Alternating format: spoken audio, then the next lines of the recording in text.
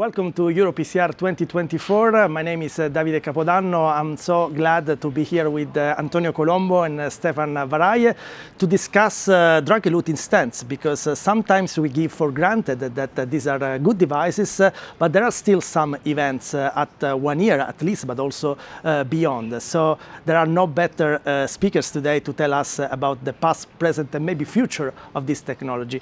And Antonio, if you agree, I would start with you and ask you what are, in your perspective, a very important perspective, uh, the current limitations of drug-eluting stents? Well, drug-eluting stents are still a stent, which is a permanent device which stays as it is as at the time of implantation. The vessel is not really a permanent tube, has the capacity of remodel, like a Glagov, and has the capacity to pulsate systole and diastole. And these two features are totally negated by a permanent metallic implant, even if it's drug-eluting. And this fact may have an impact, uh, not necessarily at one year event, but uh, when we extend the follow-up to three, four, five years. Okay, so the caging of the vessel, it's an issue. It's a limitation. And maybe I can ask uh, Stefan, so we are taught that stents are made of a platform, a polymer, a drug. So which of these aspects, if anything, we can improve? Well, uh, Davide, I'm glad you mentioned already the word caging because that's what we currently do, as Antonio mentioned, with the caging elements. And what we have now today with this uh, device is that there is some uncaging elements. So it is a metallic platform. It's made out of cobalt chromium, three helical strands, and it has distinct uh, uncaging elements that are with a um, bioresorbable substance and they bioresorb over six months. So in other words, the uncaging elements uh, allow the stent to modify to the vessel itself. And therefore, this is still with metallic, you, you uh, have a scaffold, you have a bioresorbable uncaging element, and you have the drug. Okay. So that's really a novelty in uh, stent design. So if it is novel, is it correct to uh, say that this is a stent or we should call it in another way? So what is the correct term? So the, it's, it's, they, they, call it a bioadaptor because it adapts to the movements, the uh, physiological behavior of the vessel, so to say. It allows vasomotion capabilities. Okay, and this maybe may address the issue that uh, Antonio has uh, uh commented.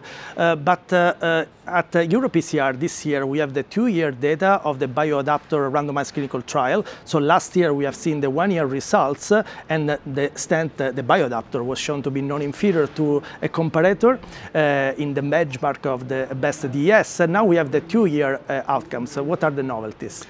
Well, the, the, novelties that we see at two years are actually uh, exactly what we were hoping for. Uh, as Antonio mentioned, you have a plateau, an increasing two to three year uh, uh, percentage of, of events every year.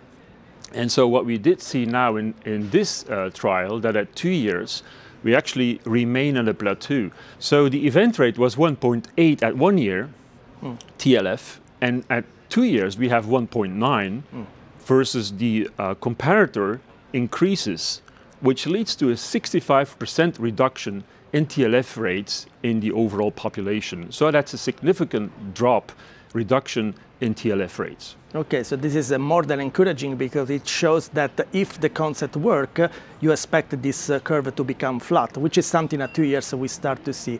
But now going into practice, because this is uh, a stent, uh, a bioadaptor that we have already on our shelves uh, in some centers. So I would like to ask Antonio Colombo to tell us who are the ideal candidates to start with and to, get, to gain some experience. But we, we in Humanitas have been conducting a prospective study for the past two years uh, utilizing this device uh, in complex lesion, the bioadaptor in complex lesion. Complex lesion, I mean total occlusion, longer LAD lesion. And uh, we have uh, OCT as the baseline and we will perform OCT as the follow-up. And I really believe uh, that the uh, quality of these devices are better expressed in long lesions mm -hmm. where a permanent caging may be a problem. In very short lesion, maybe a, a, jump can, can be done, but in short, in long lesion, a jump is more difficult for the blood uh, to maintain and all the characteristic uh, uh, of the vessel uh, elasticity. So I think uh, in long, complex lesion, this device is appropriate. As far as the implantation technique is exactly the same as a metal DES.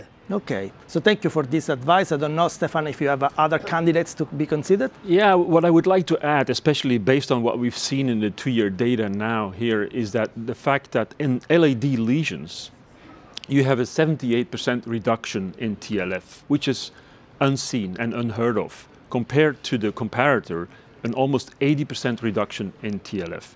So that's, that's significant. And if you look at TVF, at target vessel failure, you also a 65 or a 68% reduction compared to the comparator. So basically these, I would say LAD lesions, lung lesions like Antonio said, younger people, those are the ones uh, where you have this uh, possibility. And especially those vessels where you have most rotation, LAD, RCA, those are prone to have more events. And I think that's a suitable platform for that. Okay, thank you for sharing with us uh, this information. I think it's a good teaser also to what next uh, for this uh, device because the INFINITY-SWEDEHEART uh, trial will be presented soon and this is a large-scale study comparing in a proper manner with the big numbers and of course more events uh, and to challenge this device versus the uh, contemporary DES. So we look forward to have this data in order to know more, but we feel encouraged by this data because they are going in the right direction. So thank you very much for watching this video. I hope you enjoyed it and thank you so much for uh, thank attending. You. Thank you. It was a pleasure.